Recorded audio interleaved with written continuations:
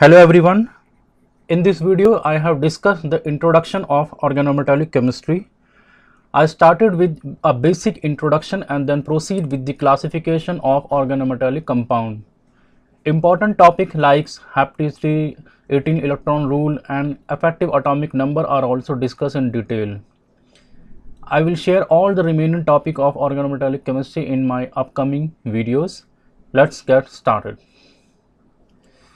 So, organometallic compound as the name implies those organic compound which contain metal but essentially in organometallic compound the central metal atom is bonded directly to a carbon atom of the organic moiety. That is the carbon atoms must be a part of hydrocarbon like an alkane, alkene, alkyne and aromatic whereas the central metal may belong to any block of the periodic table but it must be more electropositive than carbon atom.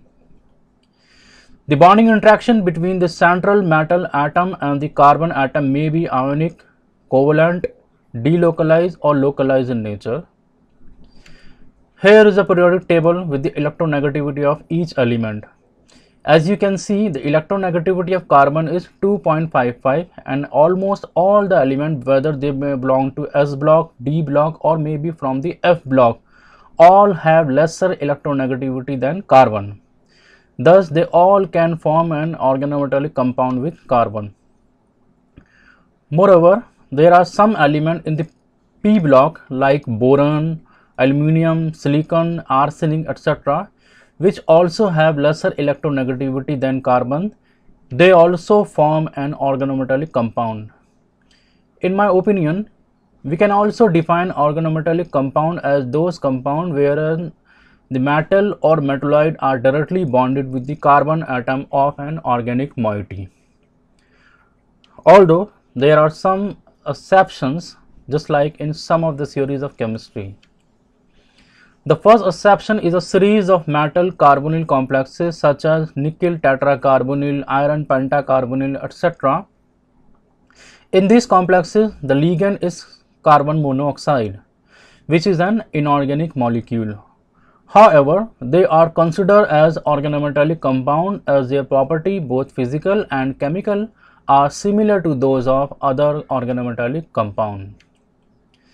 The second exception is a series of inorganic chemical like sodium cyanide, potassium cyanide. They are not considered as organometallic compound because their physical as well as chemical property are similar to those of inorganic salt. The third exception is a series of those complexes in which the carbon atom is not directly bonded with the central metal atom. For example, alkoxide, pyridine, triphenylphosphine, dialkyl ether, dialkyl sulfide, carbonate, organic amine, metallic salt of organic acid like sodium acetate. In these example, the carbon atom is a part of an organic moiety and the property of these carbon compound are also similar to those of organometallic compound. However, the carbon atom is not directly bonded with the central metal atom. The fourth exception is a series of those compounds in which the carbon atom is not a part of organic moiety, such as metal carbide, intercalated compound of graphite and fullerene, even though they contain the direct metal carbon bond. However, they are excluded from the family of organometallic compound. I hope now you all understood and can classify whether the following 20 compound are organometallic or not. The next topic is a classification of an organometallic compound. Well, based on the nature of metal carbon bond, we can classify the organometallic compound into five categories. The first one is ionic organometallic compound. As the name implies, the nature of metal carbon bond is purely ionic. Most of the organometallic compound of alkali metal except lithium fall in this category. Sodium butyl, sodium methyl, etc. These ionic organometallic compound just like ordinary ionic compound or salt are soluble in polar solvent. That's why they are quite reactive and kinetically unstable. According to Fajans rule, a covalent character is directly proportional to the size of an anion and inversely proportional to the size of a cation. This is why lithium is excluded from the family of ionic compound, ionic organometallic compound as its small cationic size induce some covalent character among their complexes. Also, compound with larger cation and smaller carbanion are mostly ionic. Thus, based on the Fajans rule, the most ionic compound is cesium methyl. Okay, the next one is sigma covalent organometallic compound. The metallic element of group 2, 13, 14 and 15 as well as the transitions element with fully d orbitals such as zinc, cadmium and mercury form organometallic compound in which the metal atom are bonded to carbon atom through a sigma covalent bond.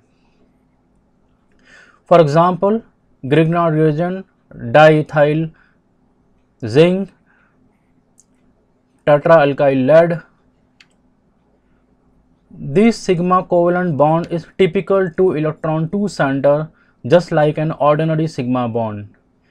This bond may have some ionic character depending upon the electronegativity difference between the central metal and the carbon atom. The third one is pi covalent organometallic compound.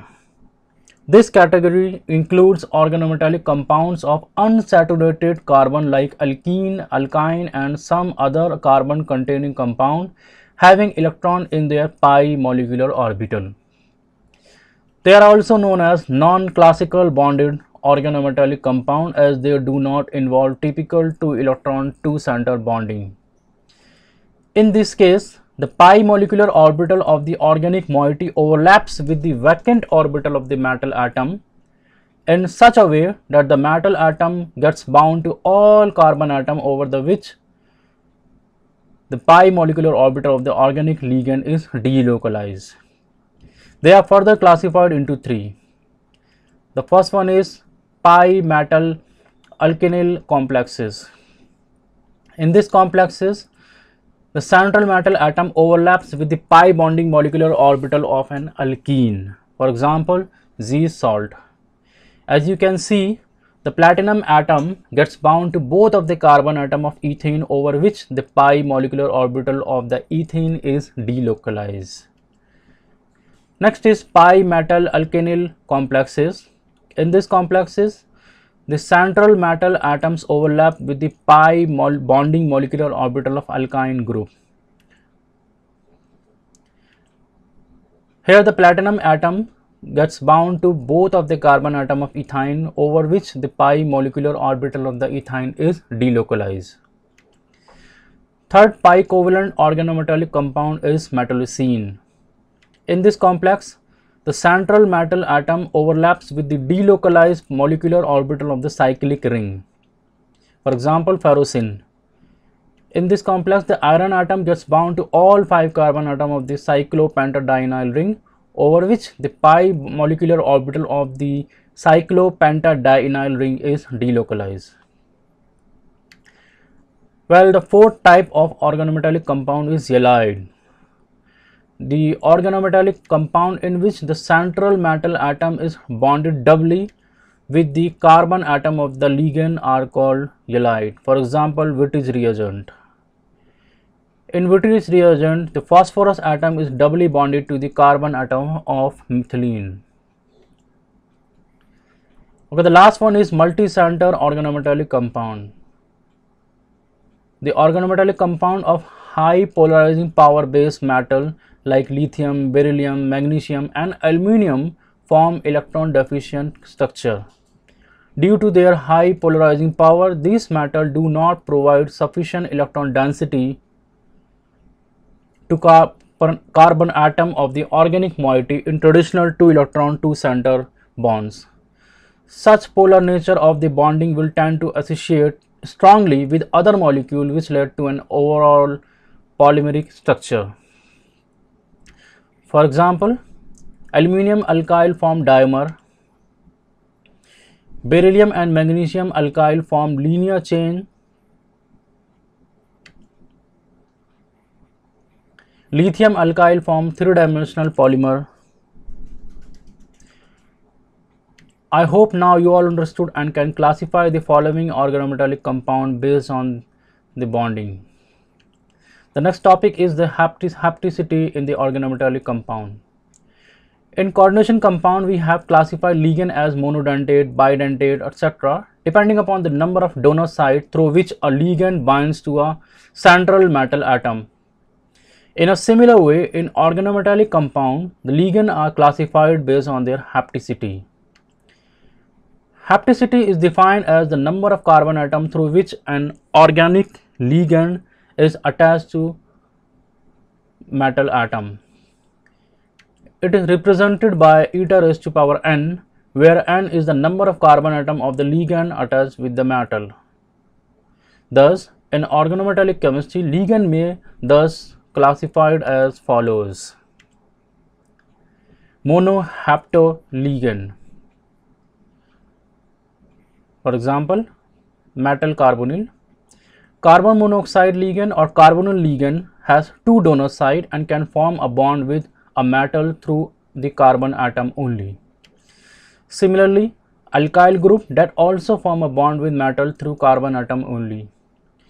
Although alkenyl and alkynyl groups have sigma and pi electron, they form a bond with metal through sigma electron of one of the carbon.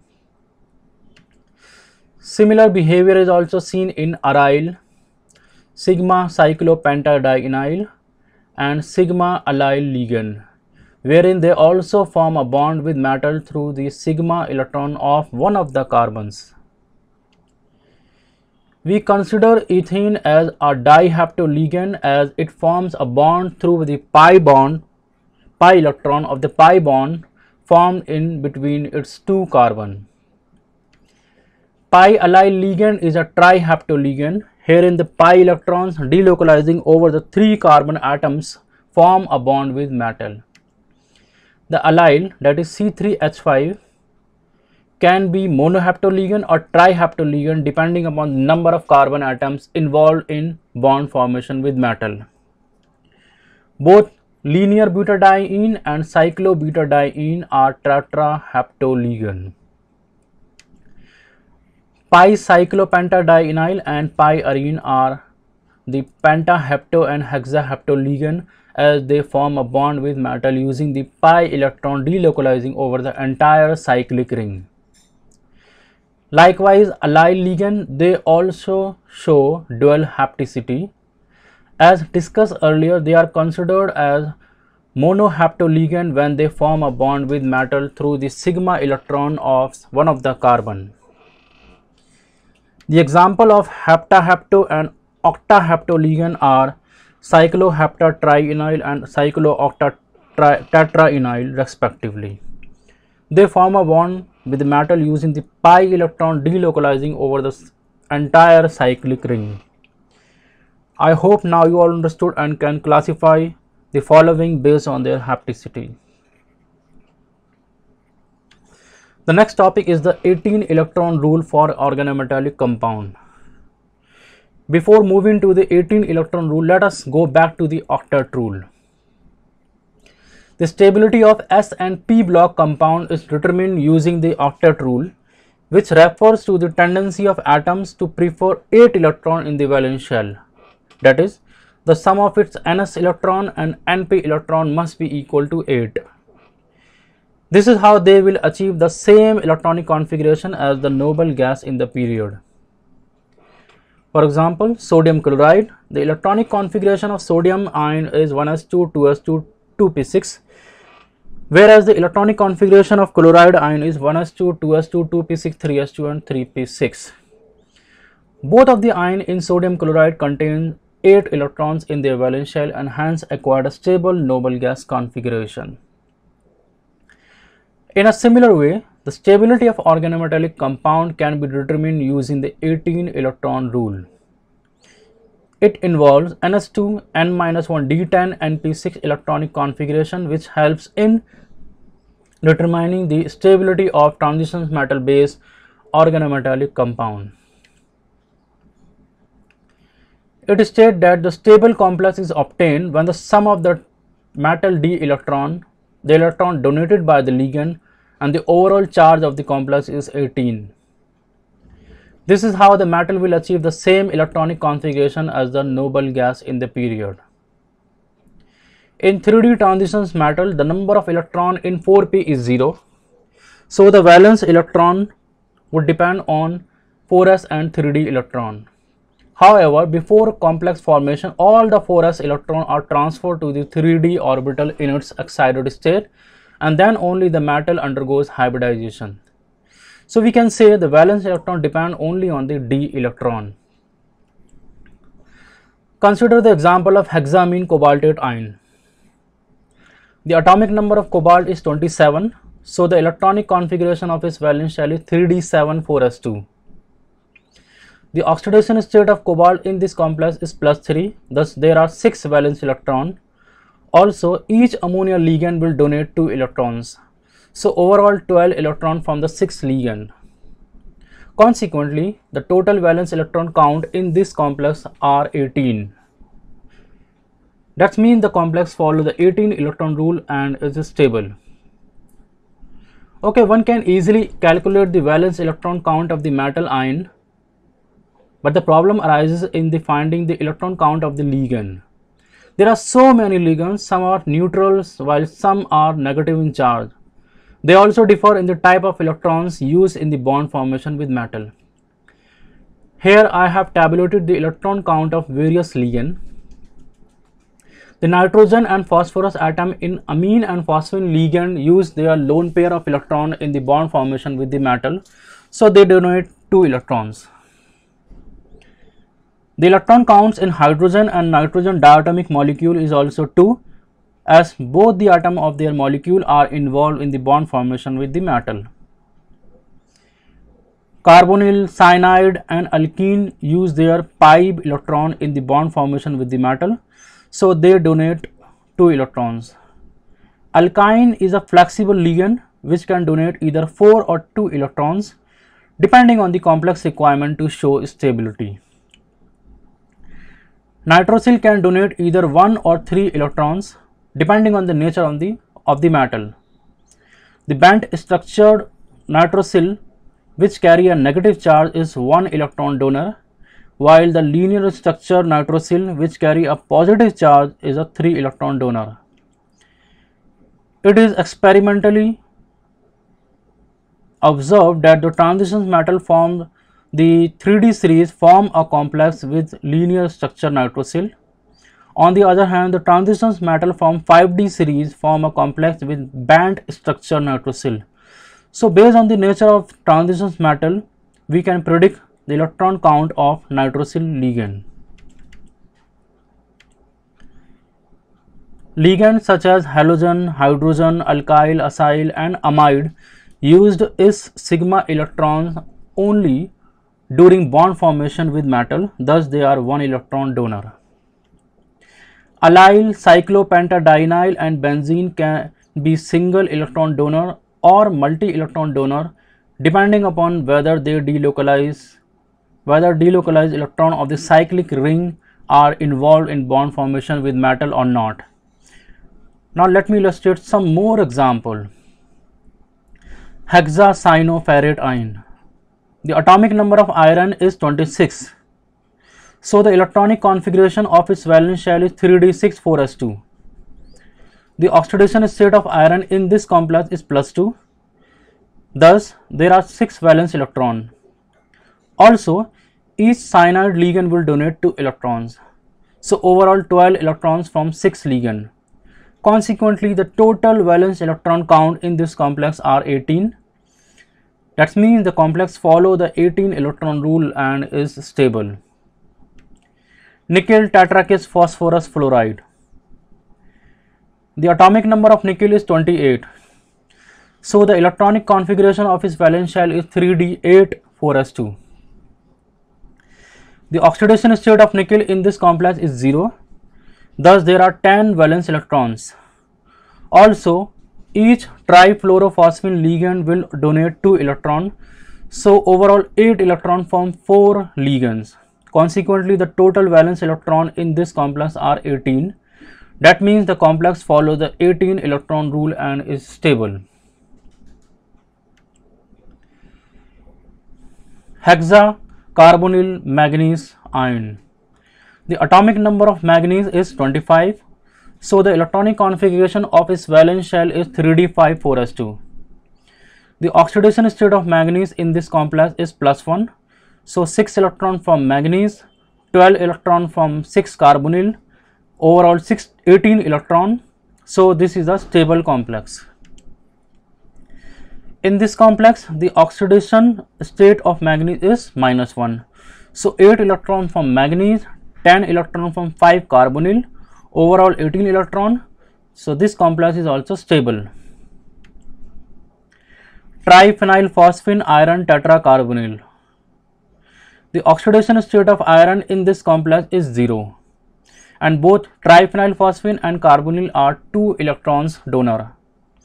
So 8 electron from iron, 2 from triphenyl phosphine and 8 from 4 carbonyls. Thus overall 18 electron, this complex follow the 18 electron rule and is stable. In this complex, the oxidation state of manganese is 0. Methyl ligand is a 1 electron donor. So, 7 electron from manganese, 1 from methyl and 10 from 5 carbonyls thus overall 18 electron which make this complex stable. In this complex we have 3 different ligand and all of them are neutral. Thus the oxidation state of chromium is 0. Ethyl ligand is a 1 electron donor. So 6 electron from chromium, 1 from ethyl, 5 from cyclopentadienyl and 6 from 3 carbonyl. Thus overall 18 electron which make this complex stable.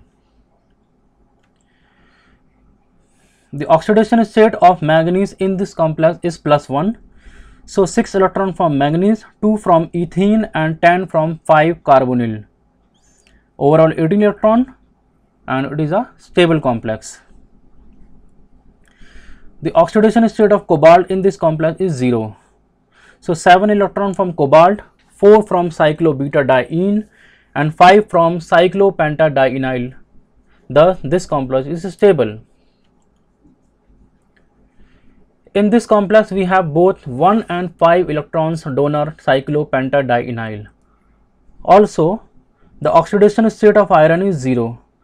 So, 6 electron from iron, 4 from 2 carbonyl, 1 from sigma and 5 from pi cyclopentadienyl. Thus, overall 18 electron and it is also a stable complex. The oxidation state of vanadium in this complex is 0. So 5 electron from vanadium, 6 from 3 carbonyl and 5 from cyclopentadienyl. The sum of this electron is 16. As we know, alkyne is a flexible ligand that can donate either 4 or 2 electron depending on the complex requirement to show stability. Therefore, in here in this complex, alkyne will act as two electron donors to make this complex stable. In this complex, nitrosyl is bonded with the transitions metal from the 3D series.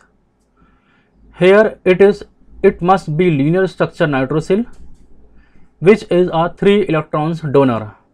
Thus, 10 electron from nickel, 3 from linear nitrosyl and 5 from pi cyclopentadienyl thus overall 18 electron and it is also a stable complex. I hope now you all understood and can predict whether the following complexes follow 18 electron rule or not.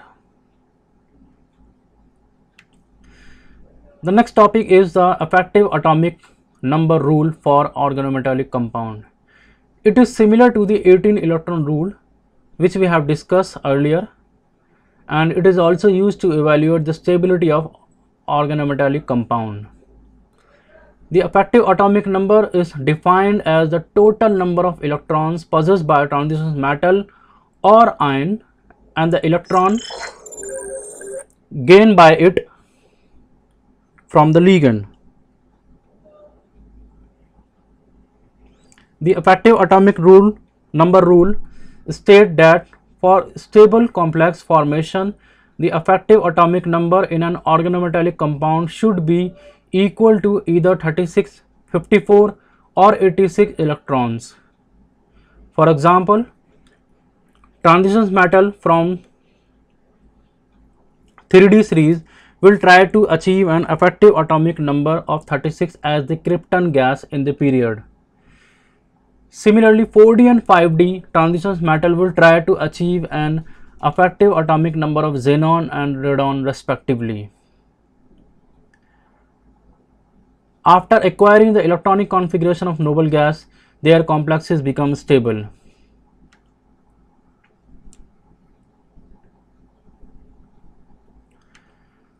There are two methods for evaluating the effective atomic number of organometallic compound.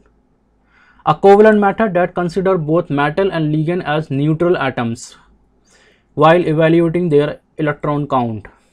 An ionic method that consider the oxidation state of metal and charge on the ligand while evaluating their electron count. Electron count. The covalent method and ionic method are also known as the neutral method and oxidation method respectively. Here I have tabulated the electron count of various ligand. A covalent method is quite convenient and easy to use and I always recommend it to my student. The reasoning for their electron count using the electron eh, covalent method is the same as we have discussed in the 18 electron rule. In some cases, the electron count of the ligand remain the same as considered by the covalent method.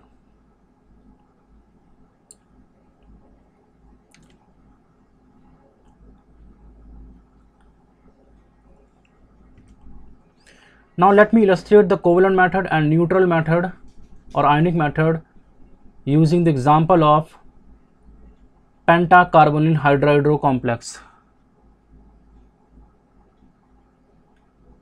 First using covalent method. The atomic number of manganese is 25 so it will contribute 25 electron. Also each carbonyl ligand will donate 2 electron. So 10 electron from 5 carbonyl ligands.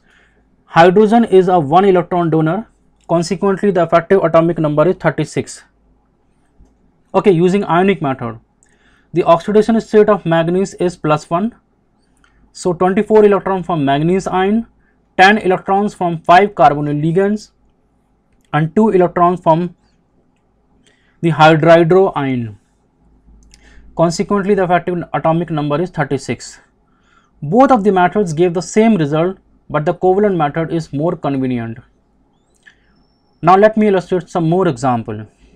Pentacarbonyl methyl manganese. The atomic number of manganese is 25 and there is no charge on the complex. So the oxidation state of manganese is 0. That means the manganese will contribute 25 electrons. Also each carbonyl ligand will donate 2 electrons so overall 10 electron from 5 carbonyl ligand. Methyl ligand is a 1 electron donor consequently the effective atomic number of pentacarbonyl methyl manganese is 36. That means the complex follows the effective atomic number rule and is stable. Hexaamine cobaltate ion complex. The ammonia is a neutral ligand. So the charge on the complex indicate that the oxidation state of cobalt is plus 3. So the atomic number of cobalt is 27 and uh, therefore the cobalt plus 3 ion will contribute 24 electron. Also each ammonia ligand will donate 2 electrons. So 12 electrons from 6 ligand. Thus effective atomic number of hexamine cobaltate ion complex is 36 that means the complex follow the effective atomic number rule and is stable hexacyanoferrate ion complex. The atomic number of iron is 26 and therefore iron plus 2 will contribute 24 electrons. Also each cyanide ligand will donate 2 electron. So 12 electron from 6 ligand. Consequently, the effective atomic number of this complex is also 36 which make it stable. In this complex, the atomic number of chromium is 24 and there is no charge on the complex. So, the oxidation state of chromium is 0. That means the chromium will contribute 24 electron. Also, each carbonyl ligand will donate 2 electrons, so overall 6 electrons form 3 carbonyl ligand. Ethyl ligand and pi cyclopentadienyl will donate 1 and 5 electrons respectively. Thus, the effective atomic number of this complex is 36. That means the complex follow effective atomic number rule and is stable. In this complex, we have both 1 and 5 electron donor cyclopentadienyl. Also, the oxidation state of iron is 0. So 26 electron from iron, 4 from 2 carbonyls and 1 from sigma and 5 from pi cyclopentadienyl. Thus overall 36 electron which make this complex stable. In this complex the atomic number of cobalt is 27 and there is no charge on the complex. So the oxidation state of cobalt is 0. That means the cobalt will contribute 27 electron. Thus 27 electrons from cobalt 4 electron from cyclobutadiene, 5 from cyclopentadienyl. Therefore, this complex is also following 36 effective atomic number rule and is stable. The charge on the complex is 0. So, 23 electron from vanadium, 6 from 3 carbonyls and 5 from cyclopentadienyl. The sum of these electron is 34. As we know an alkyne is a flexible ligand that can donate either 4 or 2 electron depending on the complex requirement to show stability. Therefore, here in this complex the alkyne will act as 2 electron donor to make this complex stable. The charge on the complex is plus 1. So, 24 electron from manganese ion and 10 from 5 carbonyls. The sum of these electron is 34. Likewise, previous example alkyne will act 2 electron donors to make this complex stable. In this complex, nitrosyl is bonded with the transition metal from the 3D series. Hence, it must be linear structure nitrosyl which is a 3 electrons donor. Thus, 28 electrons from nickel, 3 from linear nitrosyl and 5 from cyclopentadienyl. Consequently, the effective atomic number of this complex is 36 and it is a stable complex. In this complex, the atomic number of molybdenum is 42 and there is no charge on the complex. So, the oxidation state of molybdenum is 0. That means the molybdenum will contribute 42 electrons.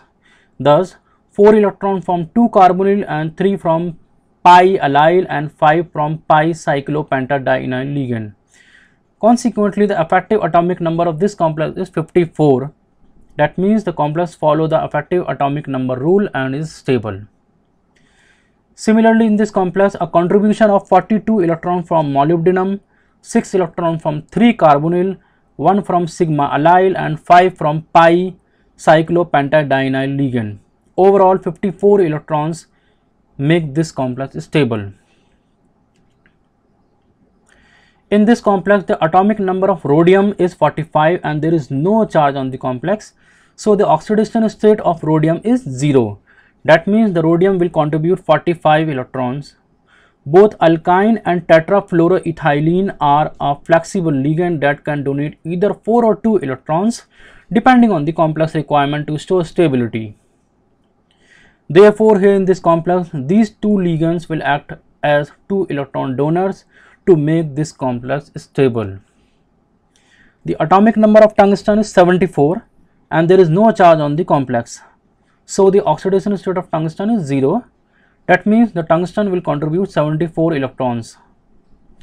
Trimethylsilyl is a 1 electron donor thus 74 electrons from tungsten 6 electron from 3 carbonyls and 1 electron from trimethylsilyl and 5 from pi cyclopentadienyl ligands.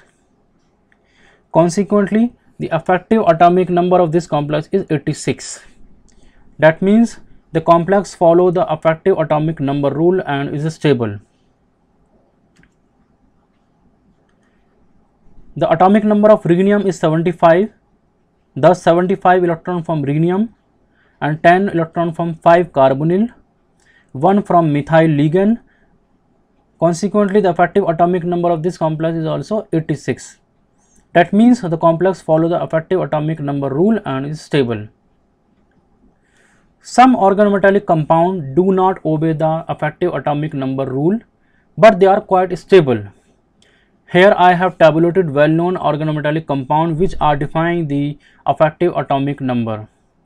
Their stability can be explained by valence bond theory, crystal field theory, etc. I hope now you all understood and can predict whether the following complexes follow the 18 electron rule or not.